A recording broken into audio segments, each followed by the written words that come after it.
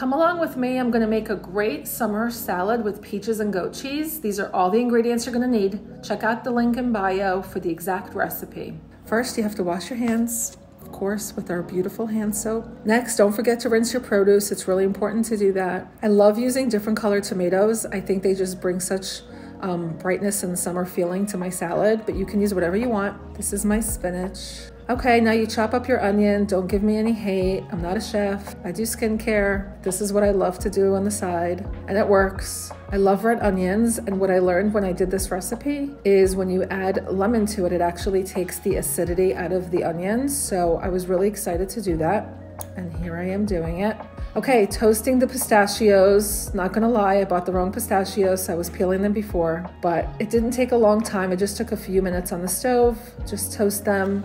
They actually taste so much different when you toast them, so it makes a difference to do this step and then kind of let it cool on the side. Now it's time to cut the peaches. This is my best method of cutting it, but this is what I know. If you want to send me a note and tell me in the comments a better way so I'm not wasting so much, I'd love to hear it. But to me, this was the cleanest and easiest way to do it into chunks. And we used a white peach, but you can use whatever peach you want. It was really, really sweet, so it took the salad to the next level.